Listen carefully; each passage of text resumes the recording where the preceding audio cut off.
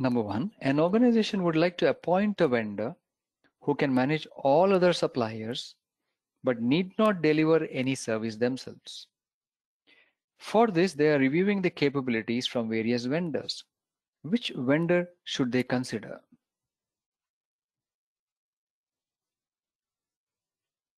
They want a vendor, um, a consumer organization wants a vendor who can manage all other suppliers but need not deliver any services. So it seems they're looking for a service integrator. So let's look at the options. A vendor who has provided all types of services. This is ruled out because this vendor need not deliver any service.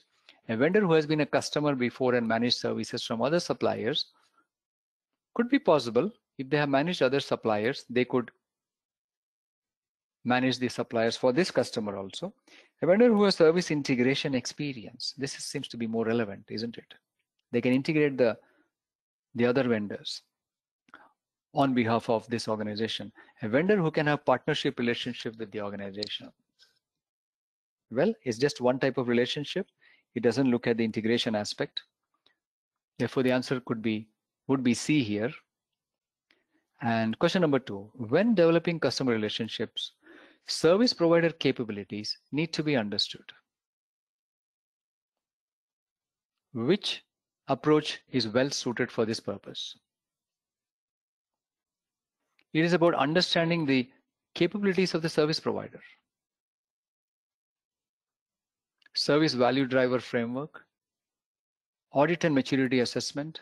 We're first deciding on sourcing strategy. We're first building trust with the service provider. The question here is about understanding capabilities of the provider. The service value driver framework focuses on understanding needs, then arriving at the solution, the top-down approach, or understanding the solution first, then arriving at the needs, the bottom-up approach. It doesn't focus on understanding the capabilities of the provider. Audit and maturity assessment seems more likely because the provider can be audited and their capabilities can be understood through the audit and maturity assessment. Deciding the sourcing strategy doesn't provide an understanding of the provider capabilities. Building trust with the service provider need not provide an understanding of the provider capabilities. Therefore, the answer would be B here. So I got C and B as the correct answers.